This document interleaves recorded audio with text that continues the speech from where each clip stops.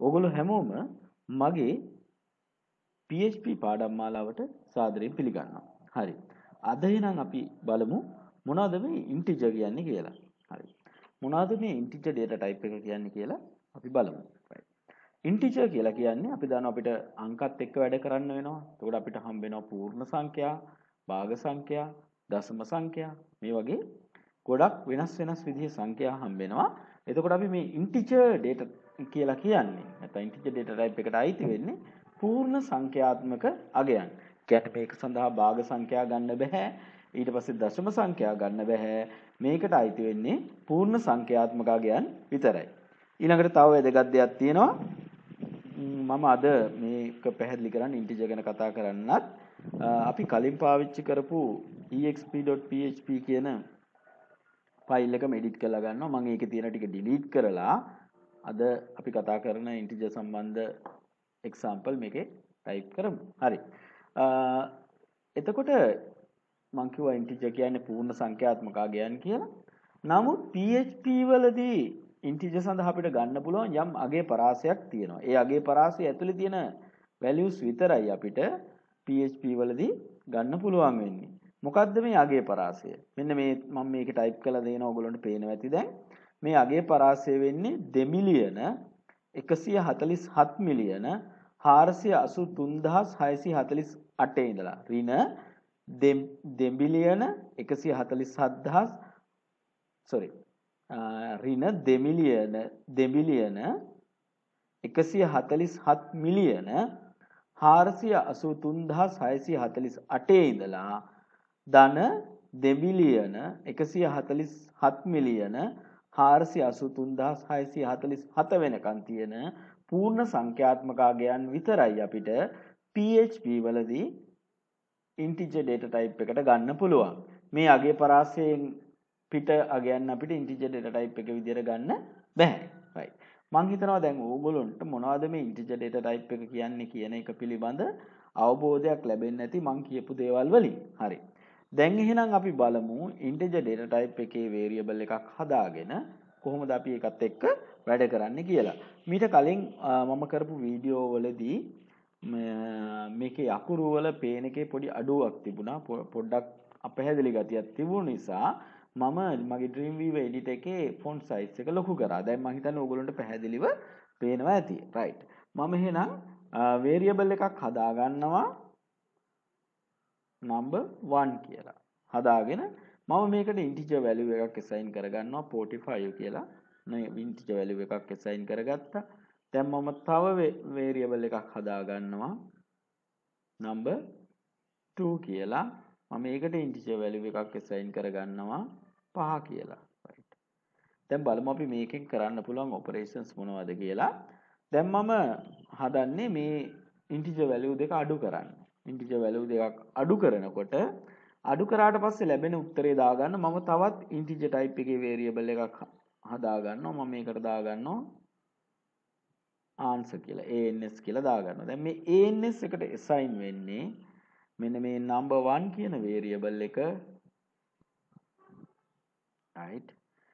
ඒකෙන් එක එකතු කරනවා ඒකට එකතු කරනවා. Number 2 කියන variable එක variable එක ඊට පස්සේ දැන් අපි ඒක ආන්සර් කියන එකට දාගත්තා. දැන් බලමු අපි නිවැරදිව මේ ආන්සර් එක ආවද කියලා පොඩ්ඩක්. එතකොට අපි මොකද්ද කරන්නේ? echo එකක් දාගමු. easy echo answer. right. දැන් බලමු අපි මේක නිවැරදිව ඩිස්ප්ලේ වෙනවද කියලා බ්‍රවුසර් එකට ගිහිල්ලා. මේ බ්‍රවුසර් එකේ තියෙන අපි කලින් ඊට කලින් වීඩියෝ එකේ කරපු එකට අදාළ අවුට්පුට් එක right. ඔයගොල්ලන්ට පේනවා 50 කියලා අවුට්පුට් එක එනවා. ඒ කියන්නේ මේක නිවැරදි. මේ විදිහට දෙක එකතු වුණා උත්තරය 50 කියලා ආවා. right. දැන් අපි බලමු මේ දෙන අඩු කරලා. දැන් මේ කරේ අපි එකතු කරපු එක. දැන් බලමු අපි එහෙනම් මේ දෙන අඩු කරලා. right. මම මේ අතරට දැම්මා අඩු කිරීමේ ලකුණ. දැන් බලමු එහෙනම් මොකද උත්තරේ එන්නේ කියලා. දැන් එන්න ඕන අපිට 40 කියන උත්තරය. right. ඔබට පේනවා ඇති 40 ආවා. අපිට ඒ විදිහට පුළුවන් මේ දෙන්න අඩු කරගන්න. right. ඊළඟට අපි බලමු මේ දෙන්න බෙදලා. එහෙනම් බෙදීම මෙතන අපිට දාන්න පුළුවන්. බෙදීම විදිහට අපි දාන්නේ මෙන්න මේ ඇලයිර එක දැම්මම එකෙන් වෙන්නේ බෙදීම right දැන් බලමු අපි මොකද්ද අපිට ලැබෙන පිළිතුර කියලා 9 කියලා අපිට ලැබෙනවා. ඒ කියන්නේ 45 පහෙන් බෙදපුවාම අපිට 9 ලැබෙනවා. 9 උත්තරේ විදිහට අපිට ආවා. Right. ඊළඟට අපි බලමු තව මොනවද මේ ඉන්ටිජර්ත් එක්ක කරන්න පුළුවන් ඔපරේෂන්ස් කියලා. ඉන්ටිජර් එක්ක කරන්න පුළුවන් ඔපරේෂන්ස් ගොඩාක් තියෙනවා. ඊළඟට අපි බලමු මොඩියුල එක ගන්න කොහොමද කියලා. මොඩියුල් එක. මොඩියුල කියන්නේ මේ අදාළ ඉලක්කයන් 45 පහෙන් බෙදපුවාම දැන් මේකෙදි නම් ගැටලුවන්නේ අපි පහ වෙනුවට වෙන අගයක් දාමු. ඉතින් මෙතන දානවා 4 කියලා. ඒතර 45 කියන අගය හරියටම 4ෙන් බෙදෙන්නේ නැහැ. එතකොට යම් සංඛ්‍යාවක් ඉතුරු වෙනවා. ඒතර 45 4ෙන් බෙදපුවම ඉතුරු වෙන ප්‍රමාණය ලබා දෙන එකට තමයි අපි කියන්නේ මොඩියුල එක කියලා. ඒතර මොඩියුල එක ගන්න අපි මෙහෙමයි. ඒකට අපි කරන්නේ ඒකට අපි දානවා මෙන්න මේ percentage mark එක. දැන් අපි percentage mark එක දැම්මා. දැන් අපි බලමු percentage mark එක දැම්මට පස්සේ ආන්සර් එක විදිහට මොකක්ද දෙන්නේ කියලා. 45 4ෙන් බෙදුවොත් අපිට එනවා 11යි උත්තරේ 11ක් එනවා. ඉතුරු එකක් එනවා. දැන් මෙතනදී අපිට උත්තරේ නෙමෙයි ලැබෙන්නේ මේ මොඩියුල් ඔපරම. මොඩියුල් මොඩියුල් එක ගණනය කරද්දී අපිට ලැබෙන්නේ මෙයා නම්බර් 1 කියන එක නම්බර් 2 වලින් බෙදුවම ඉතුරු වෙන අගේ කීයක් ඉතුරු වෙනවද කියන එක අපි බලමු. අපිට කීයක් එනවද ඉතුරු වෙන අගේ කියලා. right. මේක සේව් කරගමු. දැන් ගිහලා අපි රන් කරමු. Right. එකයි කියලා එනවා. ඒ කියන්නේ 45 4ෙන් බෙදුනම 11යි ඉතුරු එකක් එනවා. අපි මෙතන තව වෙනස් අගයක් දාලා බලමු. මෙතන මම දානම් 6 6 දාලා බලමු එතකොට කීය දෙන්නේ කියලා. right. ඔව් එතකොට එනවා 3 කියලා. right. මොඩියුල් කියන්නේ මොඩියුල් එකෙන් අපි ගණනය කරගන්නේ මොකද්ද? බෙදපුවාම ඉතුරු ලැබෙන අගය. හරි. ඊළඟට සංඛ්‍යා දෙකක මල්ටිප්ලිකේෂන් එක අපි බලමු. මල්ටිප්ලිකේෂන් එක කොහොමද ගන්න කියලා මල්ටිප්ලිකේෂන් එකේදී අපි මෙතනට තරු ලකුණ දාන්නේ. ස්ට්‍රික් මාක් එක. තරු ලකුණ දාලා අපිට මේ විදිහට පුළුවන් තරු ලකුණ දාලා සේව් කරගන්න. දැන් එහෙනම් එන්නේ මොකද්ද? මේ දෙන්නගේ වැඩි කිරීමේ ලකුණ. හරි. එතකොට අපිට එනවා වැඩි වුණාම එන උත්තරය මේ විදිහට රයිට්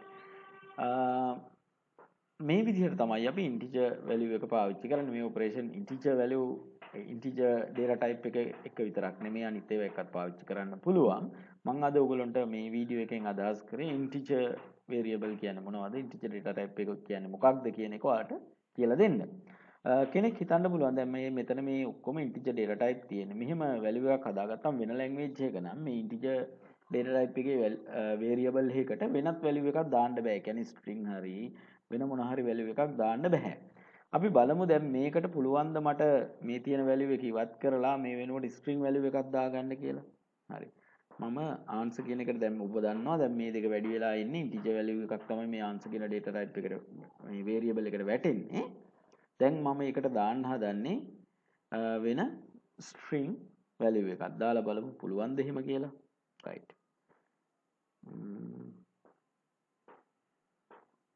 මම ඒකට නිර්මල කියන ස්ට්‍රිං වැලියු එක දෙනවා.